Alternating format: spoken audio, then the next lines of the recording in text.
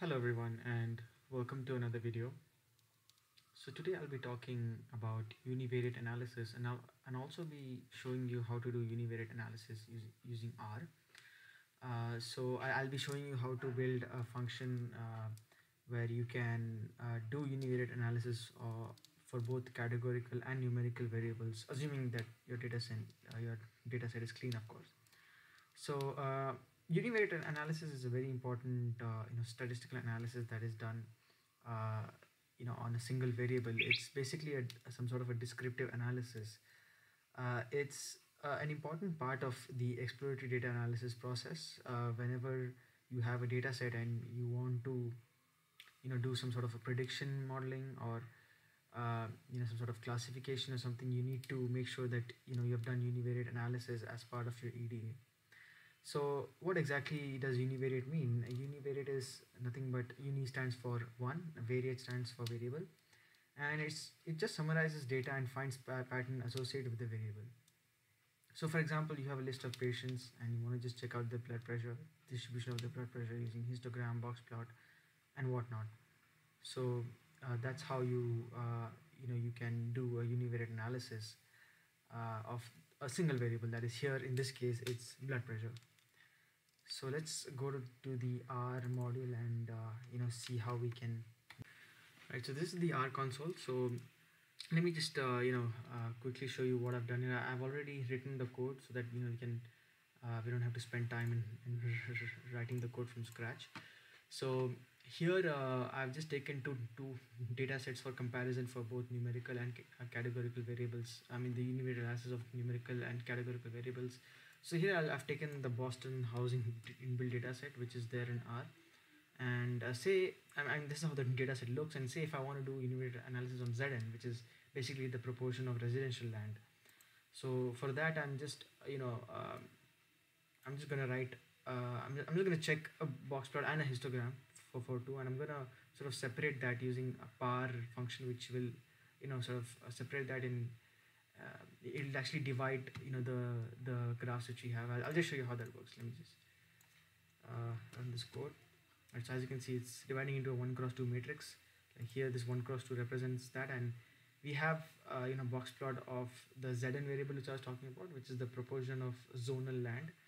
Uh, and uh, yeah so here uh, we can see you know there, there are a lot of numerical variables. But what about categorical variables so I've taken another data set that is the iris data set this is how it looks.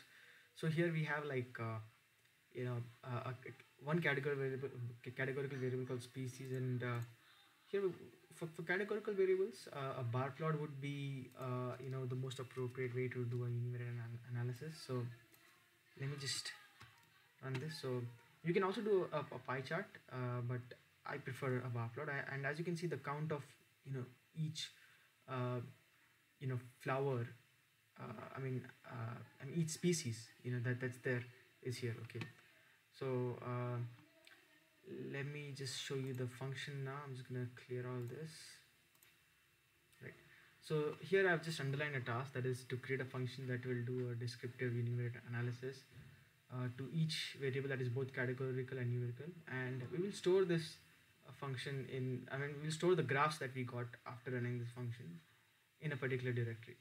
Okay, so I've just written this function. I'm just going to quickly run you through the function. It's a very simple function. Uh, here uh, I've, I've, named the function as graphs and I've given it three arguments, uh, data, uh, variable, uh, which will run through the number of columns in the data from one to the number of columns in the data.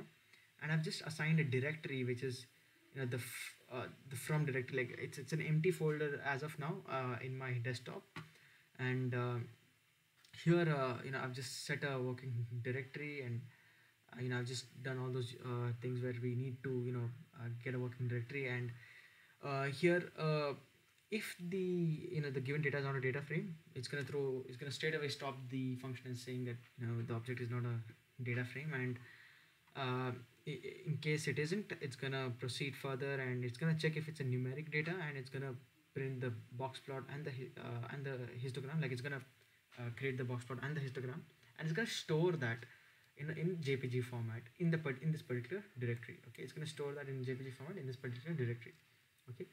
And uh, if it's not a numerical variable it's going to uh, print a bar plot of it and again it's going to uh, you know store that in this particular directory as well okay? So let me just uh, just, let me just run this entire thing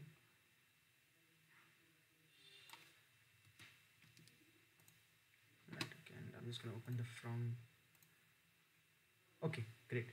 Right so as you can see you know there's uh, uh, there's a lot of you know variables that are here I mean sorry a lot of graphs that are here. Uh, all one cross two graphs. It would have been better if there were two cross two graphs I know.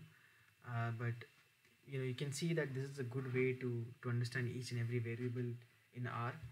Um, and yeah I'm sure this function will be useful for you so I hope you enjoyed this video. Uh, if you did uh, you know do give it a thumbs up and if you have any query um, you know just leave it in the comments down below and I'll be sure to address it.